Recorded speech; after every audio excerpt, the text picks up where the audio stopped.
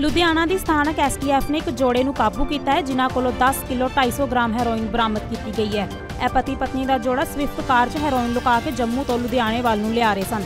STF ਦੇ AIG Snehdeep Sharma ਨੇ ਦੱਸਿਆ ਕਿ ਦੋਸ਼ੀਆਂ ਨੂੰ 26 ਨਵੰਬਰ ਨੂੰ ਐਸਟੀਐਫ ਯੂਨਿਟ ਨੇ ਸ਼ੇਰਪੁਰ ਚੌਂਕ ਕੋਲੋਂ ਵਿਸ਼ੇਸ਼ ਨਾਕਾਬੰਦੀ ਦੌਰਾਨ ਕਾਬੂ ਕੀਤਾ ਹੈ। ਉਹਨਾਂ ਦੱਸਿਆ ਕਿ ਦੋਸ਼ੀਆਂ ਦੀ ਪਛਾਣ ਜੰਮੂ ਦੇ ਪਿੰਡ ਜਲਾਲਾਬਾਦ ਦੇ ਮੁਹੰਮਦ ਅਰਬੀ ਅਤੇ ਉਸ ਦੀ ਪਤਨੀ ਜਮੀਲਾ ਬੇਗਮ ਦੇ ਰੂਪ ਵਿੱਚ ਹੋਈ ਹੈ।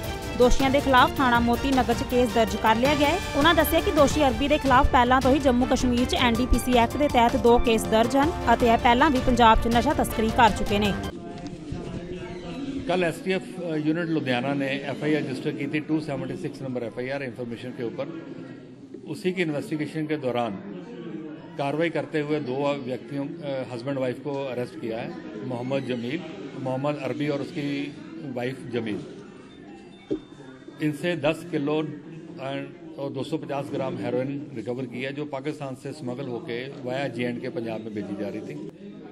इनको कोर्ट में पेश किया गया और इनका छः दिन का remand S T F Ludhiana unit को मिला है। ये क्रॉस की, की गई है जे एंड के में और वहाँ से ये further Punjab and other areas में सप्लाई की ये अपनी स्विफ्ट गाड़ी इनके नाम पे गाड़ी है।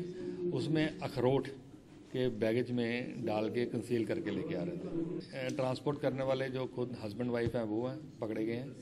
बाकी इन्वेस्टिगेशन ऑन है। हमको कुछ फॉरवर्ड एंड बैकवर्ड लिंकेजेस के बारे में हम इन्वेस्टिगेशन कर रहे हैं। के से स्मगलर हैं, जो इनको सामान भेजते हैं आगे पहुँचाया जाता है।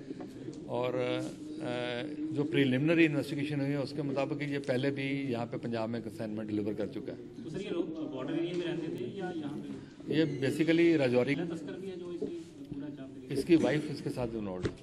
सर कैसे क्रॉस कैसे करते थे पाकिस्तान? इंडिया में कैसे ये अभी सब्जेक्ट टू इन्वेस्टिगेशन है।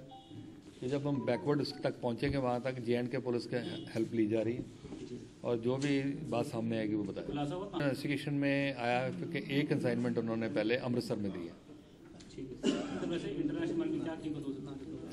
देखिए इसकी कोई कीमत नहीं बता सकते हम। अपने अपने अंदाजे हैं। जो आप पाँच करोड़ के रेट कोट करते हैं वो इंटरनेशनल मार्केट में होता है। ठीक है लुधियाना तो विकास भांबरी की स्पैशल रिपोर्ट के नाल bureau report the TV NRI